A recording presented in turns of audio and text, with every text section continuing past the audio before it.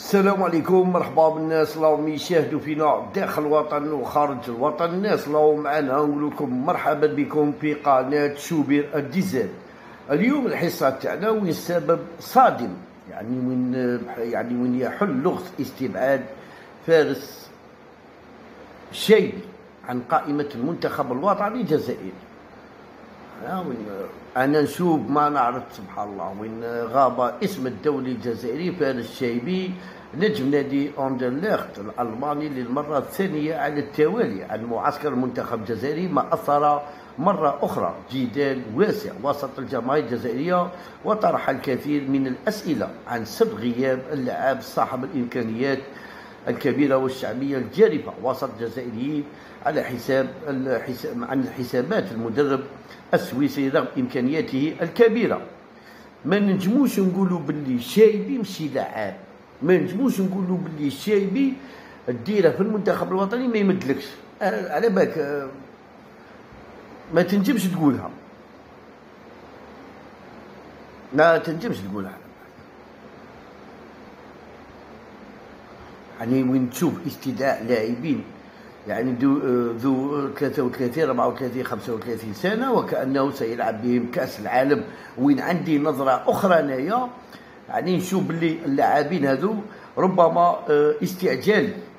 وهم في السن ال 36 و 37 استدعاء لاعبين لم يلعبوا ولو دقيقة واحدة وكأننا في حفل زفاف.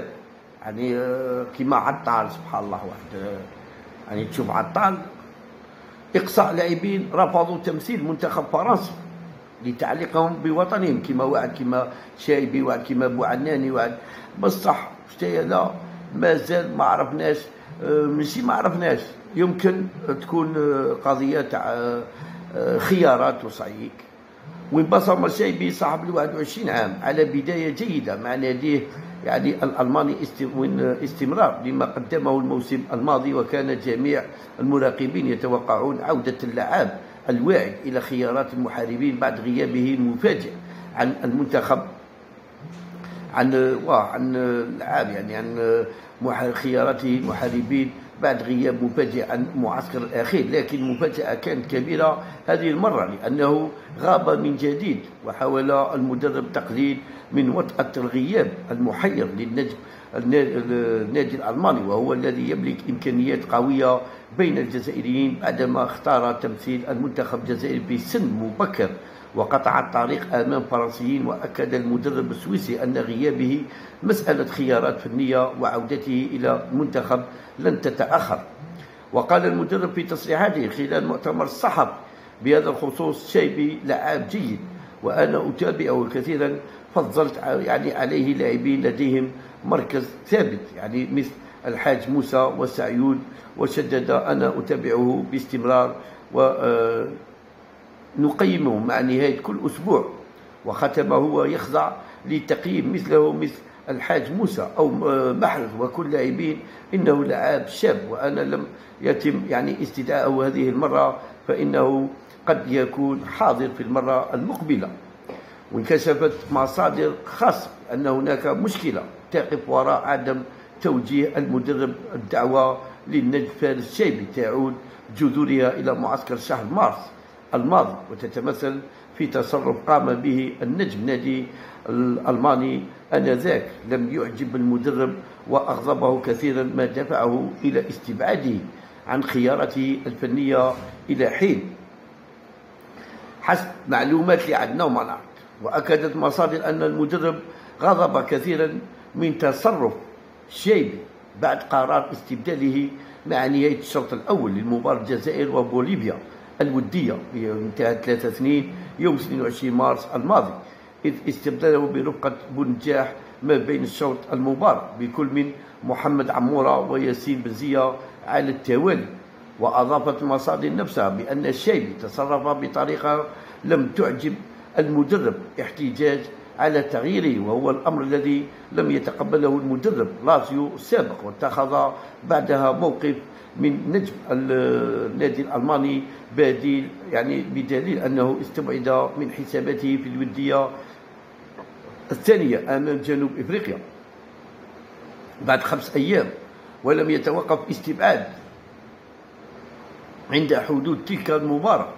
ليتواصل تجاهل المدرب لفارس الشيبي المعسكرين على التوالي شهر جوان الماضي وشهر يعني سبتمبر المقبل وفي وكل يعني حالتين برر المدرب الخوض موقفه بقول أنه خيار فني وفقط مشير لأنه لم يغلق الباب في وجه اللعاب الواعد. بالك يحوس يريق ليه يرده للصف. وين استبعد يعني المصادر أن يكون إبعاد فارس فارس الشيبي من منتخب الجزائر نهائيا بل هو يعني ظرفي واستراتيجي من المدرب لفرض انضباط والصرامة داخل المنتخب الجزائري مستدل بما حدث في قضية رياض محرز وسعى المدرب المنتخب السويسري السابق لحل تلك الأزمة في ظرف وجيز وبخطوة من جانبه. ومنذ قدومه لتدريب المنتخب الجزائري استخدم المدرب لاعبه الفارس الشيبي مرة واحدة لمدة 45 دقيقة في مباراة ودية ضد بوليفيا شهر مارس الماضي وكان ذلك في المركز الجناح الأيمن ولم يقدم نجم نادي الألماني مستوى جيد. صح ما لعبش مليح في ذاك المباراة. في في الشوط الأول في ذلك اللقاء بمركز جناح أيمن تحديد ليبقي ليبقيه المدرب على دكة البدلاء في المباراة الودية التي تلتها أمام جنوب إفريقيا.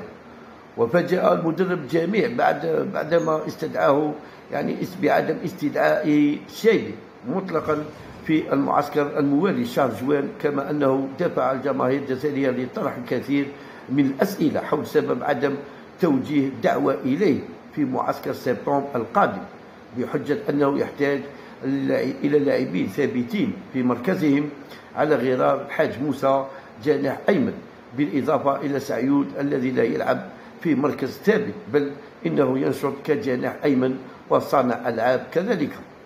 للإشارة فإن بعض الجماهير الجزائرية قالت أن فارس شيء يستحق استدعاء إلى قائمة الخوض أكثر من محمد أمين عمورة مهاجم النادي يعني الألماني المصاب على اعتبار أن النجم الشيبي يمكنه شغل ثلاث مراكز وهي الجناح الأيسر والأيمن وصانع ألعاب عمورة عنده خيار عنده اللعب تاعو الآخر عنده اللعب تاعو أنا وين سبحان الله تبقى بين المدرب بين المدرب واللاعب.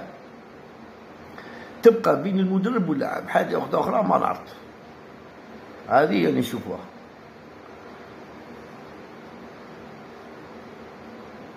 لا اخويا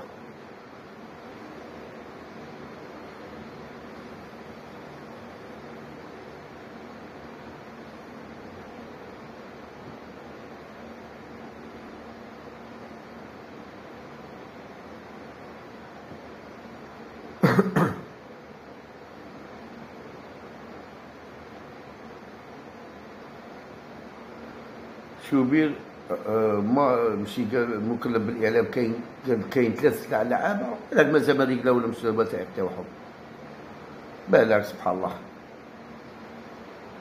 بالك مازال ما رجلاوش الوثائق تاعهم أو اللي قبل السيف بالك مازال سبحان الله. يا خويا بالك مازال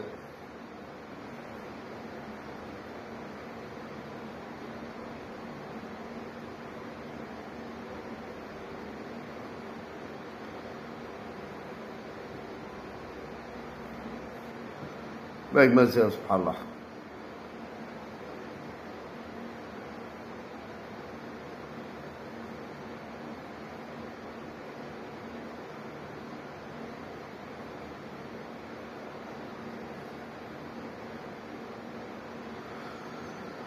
كل شاء الله.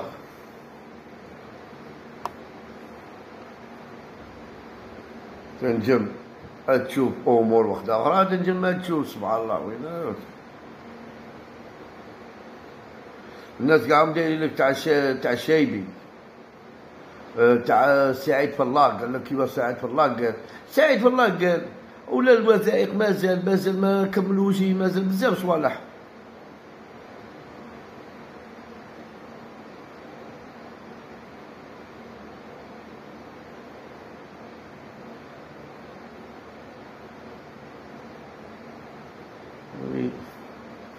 كما قال لهم لقد استدعيت يوسف عطال لتدعيمه ومساندته لأنه بلا نادي حاليا. عمرنا نادي يطلع. نسكت خير يا. لا نسكت في هذا ما تنساوش عطونا جيم كومونتير وبارطاجوا لنا لي فيديو تاعنا وإن شاء الله دائما معكم بجديد. اللي مشي أبوني أبوني معنا وربي يحفظكم ويحفظنا.